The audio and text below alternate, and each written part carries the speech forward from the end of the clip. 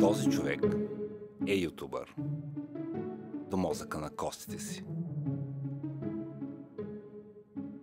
Всеки понеделник този конкретен ютубър трябва да намери идея, за която да направи видео и да покрива следните критерии.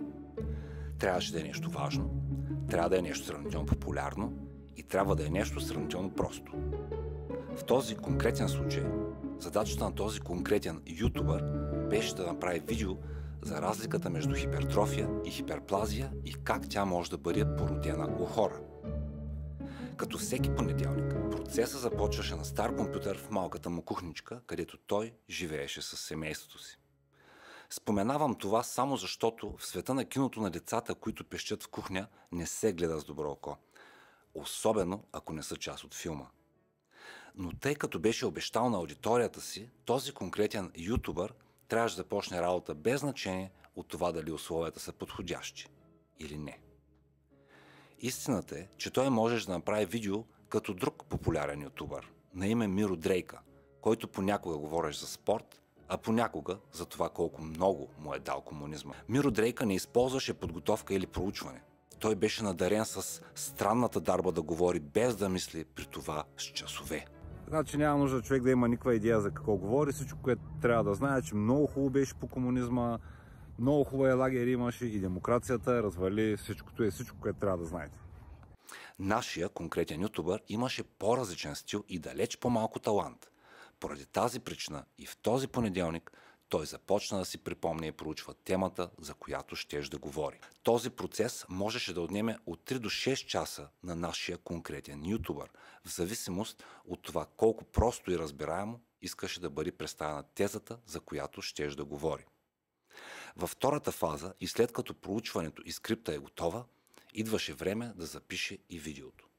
Тогава кухнята от действието се преместваше в детската спалня, която този конкретен ютубър беше превърнал в полуавтоматизирано студио, подобно на друг много популярен ютубър, който правеше видеа за политическа партия Атака. Името му беше Цунислав Манов.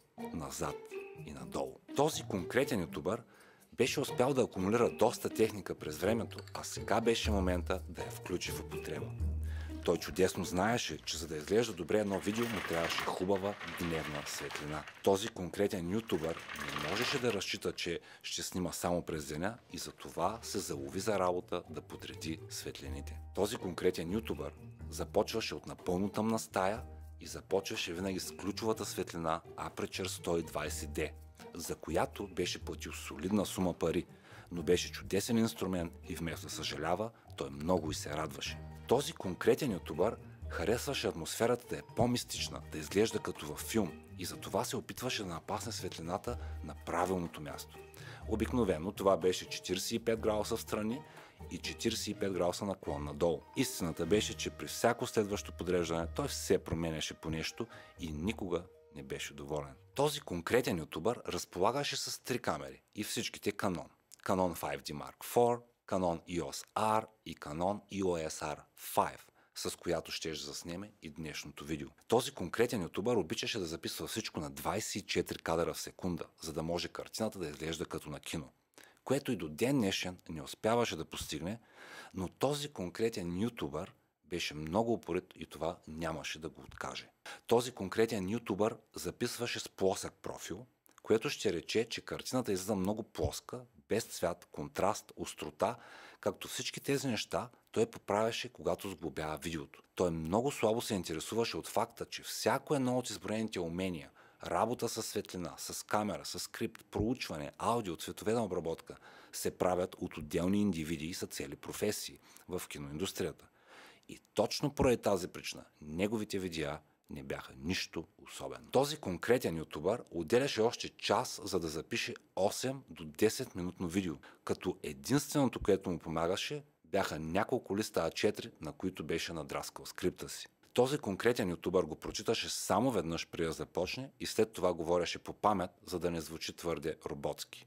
Нещо, което не винаги му се получаваше. След многократно стартиране и спиране на записа, този конкретен ютубър изпадаше в пълно отчаяние и решаваше да спре, за да изгледа записа, който е направил поне до момента. През 1973 година учените правят много Този конкретен ютубър използваше най-високия възможен битрейт, за да записва неговите видеа което е альтернативен начин да кажеш, че се бави колкото може повече, за да постигне колкото се може по-високо качество, за което в крайна сметка на никой не му пукаше. За него обаче качеството беше всичко. След като свали всичките аудиоклипови и медийни файлове на компютъра, този конкретен ютубър започваше да прави това, което в индустрията беше наречено магия.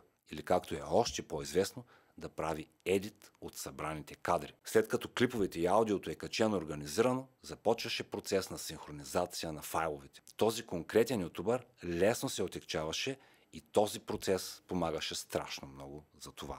След като всичко беше готово, този конкретен ютубър започваше да премахва всички хъм, ъм, а и други звуци, които пречеха на материала да се гледат и звучат гладко. Малко хора в индустрията го правеха, първо защото не знаеха това и второ, защото ги мързи. Мога да добавя и трето, защото хората искат повече чалга и не знаят, че всъщност искат качество. Този конкретен ютубър обаче се надяваше, че някой ден това ще се промени. Този конкретен ютубър отделяше 5 до 20 часа, за да направи видеото сносно за гледане. И тогава идваше ред да компресира видеото и да го качи в YouTube.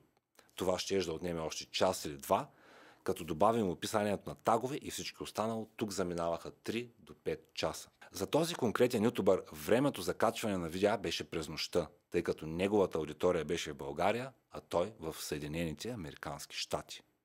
Това правеше разликата от 12 часа твърде голяма. Този конкретен ютубър оставаше да гледа аналитичните инструменти на YouTube още час, след като видеото се качи. И след това можеше да се отдъхне и да започне всичко от начало. Този човек е ютубър.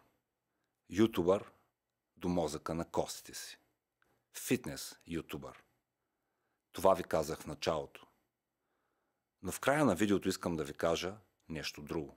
Не става дума нито за YouTube, не става дума нито за фитнес. Тук става дума само и единствено за едно нещо. И то се нарича прогрес.